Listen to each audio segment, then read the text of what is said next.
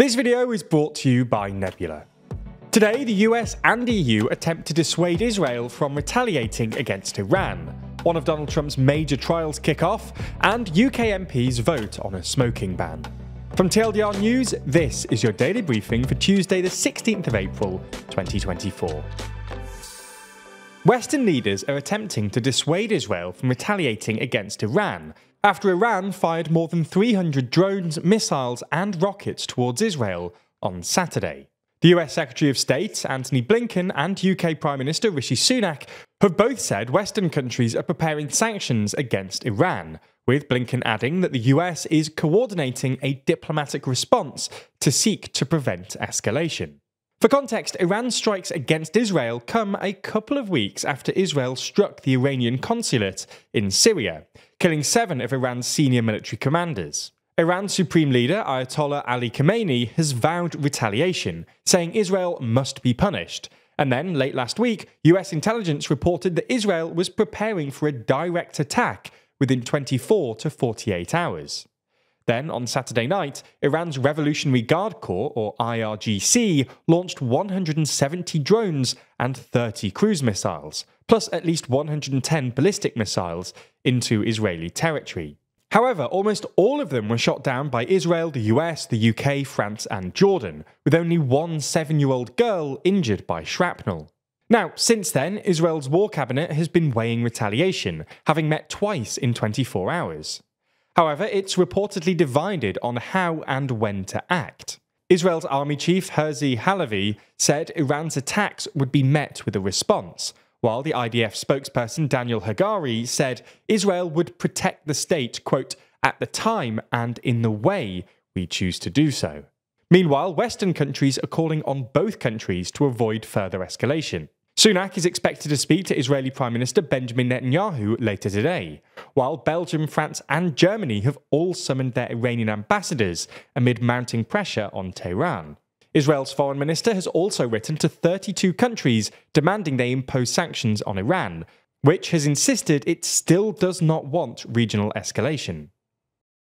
There's more on the way, but remember to subscribe and ring the bell for more daily briefing tomorrow. Plus, if you want to support the channel like Jellybones, then consider joining the new TLDR membership program for just $1.99. Monday saw the beginning of the first ever criminal trial of a US president, as a court in Manhattan kicked off the trial of Donald Trump. Trump is charged with 34 felonies, including falsifying business records in relation to the payment of hush money to adult film star Stormy Daniels. Yesterday was the first day of jury selection, something that was always going to be challenging given Trump's notoriety. Judge Juan Merchan immediately dismissed more than half of the first batch of 96 potential jurors after they said that they could not be fair and impartial, and the day ended without any jurors being selected. With this in mind, jury selection could last two weeks or more, with the trial possibly extending into June. Trump himself was in the courtroom and even reportedly fell asleep during proceedings around midday. But before the trial, he spoke to reporters and claimed that the trial was an assault on America and an attack on a political opponent. Judge Merchan also reiterated a gag order barring Trump from attacking witnesses, court officials, and their family members. Merchan will hear arguments next Tuesday on a request by the prosecution to fine Trump and warn him of potential jail time for alleged violations of the gag order. This is just one of the unprecedented criminal cases that Trump faces that are all sapping time, energy, and resources from his presidential campaign. Moving to the UK now, where MPs are later going to be voting on the government's proposed smoking ban. Announced last year at the Conservative Party conference, the tobacco and vapes bill would ban anyone born after 2009 from buying cigarettes. In effect, this means that the age at which people can buy cigarettes would increase each year until eventually no one is able to purchase them.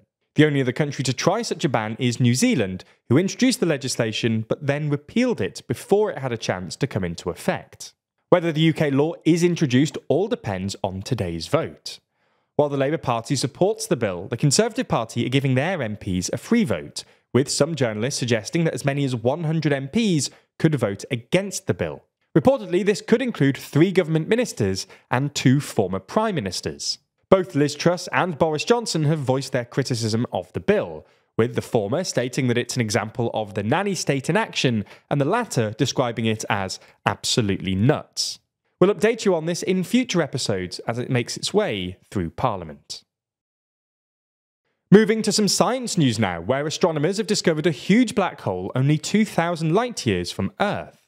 The black hole is named BH3 and is the largest black hole discovered in the Milky Way yet. This cosmic discovery was made by looking at data provided by the European Space Agency's Gaia mission.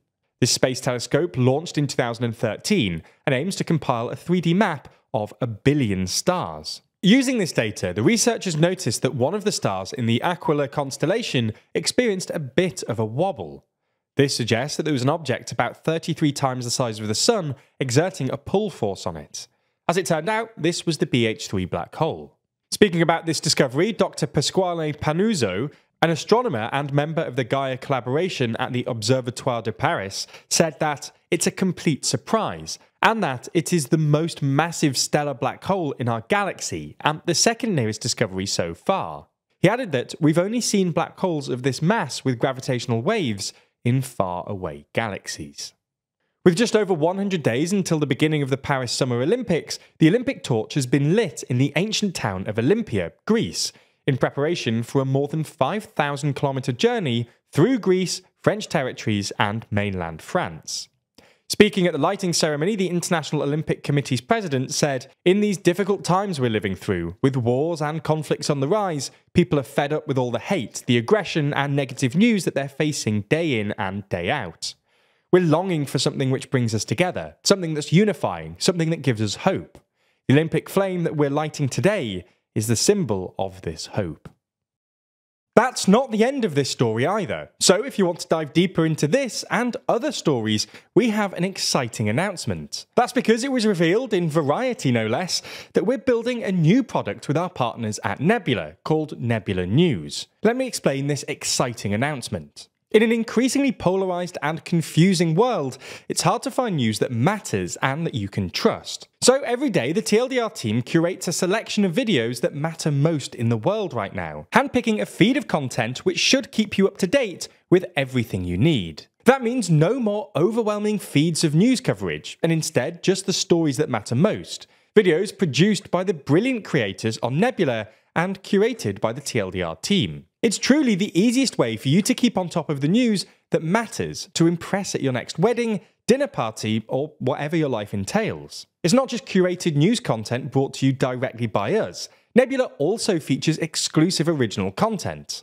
That's things like Real Life Lore's brand new series War Room, which every month runs you through a whole load of ongoing conflicts, keeping you in the loop. You can also watch every TLDR video on Nebula ad free, and in many instances before they land on YouTube. Now, if you're already subscribed to Nebula, you can find the brand new Nebula News section at nebula.tv forward slash news. And be sure to bookmark or save that link so you can use it as your TLDRified news homepage. If you're not a member already, then click the link in the description to sign up now. If you do, you'll get 40% off an annual plan by using our link. That's less than £2 a month. Plus, Nebula will know that you came from us, which really helps us out. Thanks for your support, especially when we're doing something so big and new, and we hope you love Nebula News.